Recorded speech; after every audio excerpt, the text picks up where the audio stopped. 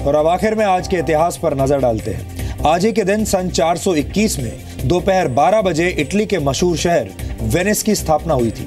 आपको बता दें कि वेनिस में सड़कें नहीं हैं, वहाँ पूरे शहर में नाव के ज़रिए ही यातायात होता है।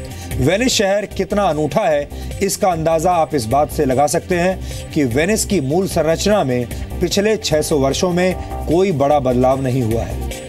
आज ही के दिन वर्ष 1655 में शनि ग्रह के सबसे बड़े चाँद टाइटन की खोज हुई थी। टाइटन की खोज डच वैज्ञानिक क्रिस्टियान हाइगिंस ने की थी। अपनी पत्रकारिता से अंग्रेज़ों की नींव हिला देने वाले स्वतंत्रता सेनानी गणेश शंकर विद्यार्थी का निधन आज ही के दिन वर्ष 1931 में हुआ था।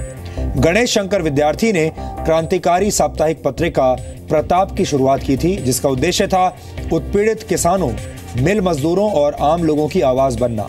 गणेश शंकर को अपनी पत्रिका की वजह से कई बार जेल भी जाना पड़ा। वर्ष 1931 में कानपुर में हुए दंगों के दौरान कई लोगों की जान बचाते हुए गणेश शंकर विद्यार्थी भीड़ के गुस्से का शिकार हो गए थे और उनका निधन हो गया था। आज भी उन्हें कलम के सिपाही के रूप में याद किया जाता है। तो डीएनए में आज इतना ही। अब संडे ब्रेक का समय हो गया है। अब आपसे हमारी मुलाकात सोमवार को होगी, जब हम और आप मिलकर नई ऊर्जा के साथ नए सप्ताह की शुरुआत करेंगे। तब तक आप खुश रहिए, सुरक्षित रहिए और अपनी सेहत का ख्याल रखिए। नमस्कार।